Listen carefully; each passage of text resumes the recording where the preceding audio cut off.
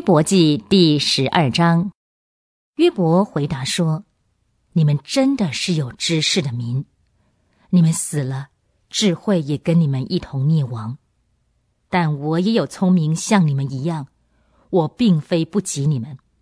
像你们所说的这些事，有谁不晓得呢？我这求告神，又蒙他应允的，竟成为朋友的笑柄。”公义完全的人竟成为笑柄，平静的人心中藐视灾祸，作将滑跌者的份，强盗的账目兴旺，惹神发怒的安稳，神的手赏赐他们。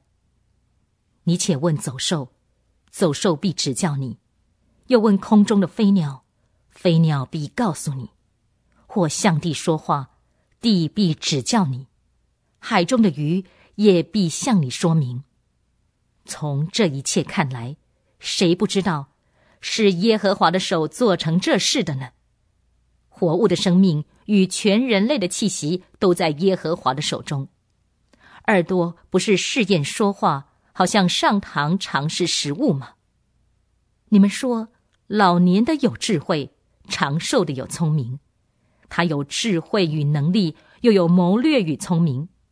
他所拆毁的就不能重建，他所囚禁的就不能释放。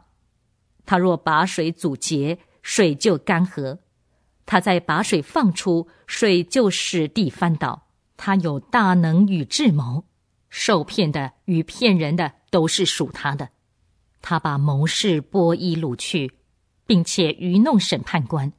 他解开了君王绑人的绳索，又用腰部捆绑君王的腰。他把祭司波衣掳去，倾覆有权有势的人；他除掉忠信人的言论，又除去老年人的辨别力；他把羞辱倾倒在王子上，又松开壮士的腰带；他从黑暗中彰显奥秘，把死印领进光中。他是邦国兴盛，又毁灭他们；扩张邦国，又把他们掳去。他除掉地上人民中首领的悟性。使他们在无路的荒野之地漂流，他们在黑暗无光中摸索，他使他们漂泊无定，像醉汉一样。